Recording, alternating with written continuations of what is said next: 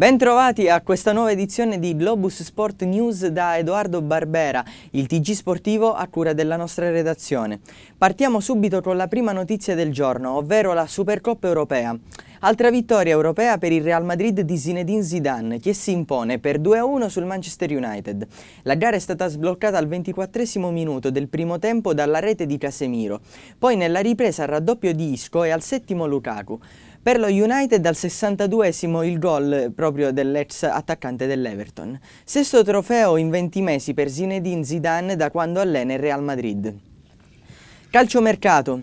La Juventus ha ufficializzato il passaggio di Lemina al Southampton. Il centrocampista ormai ex bianconero arriva al club inglese per la cifra di 17 milioni di euro più 3 di bonus.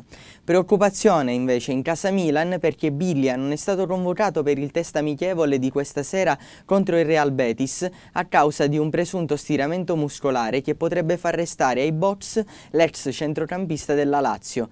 Ricordiamo che il match si giocherà all'Angelo Massimino di Catania. Formula 1.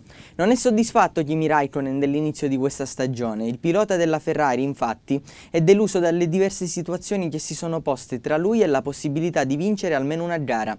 L'ultima vittoria per il pilota finlandese risale proprio alla stagione 2013, quando Heinzmann vinse il Gran Premio di Melbourne.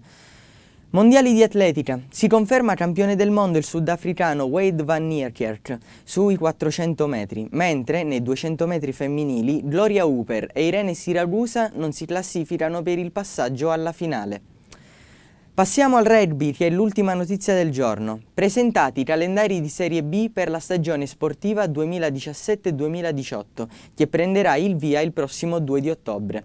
L'Amatori Catania sarà impegnato alla prima giornata in trasferta contro la Capitolina.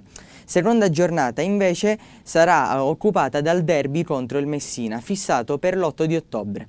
Con questo chiudiamo il nostro TG sportivo, da Edoardo Barbera è tutto, buona continuazione con i nostri programmi. Se vorrete continuare a restare aggiornati con le nostre notizie seguiteci sul sito internet www.globusmagazine.it.